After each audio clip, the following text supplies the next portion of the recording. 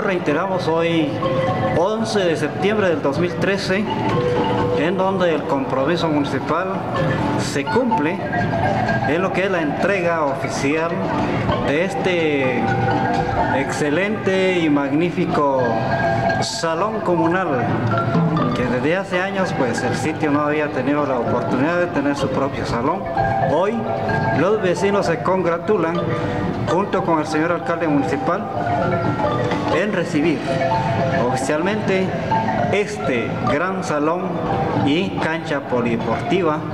pues sin lugar a dudas servirá para la práctica del deporte, reuniones culturales y sociales que se van a realizar a partir de este instante en este bello lugar del sitio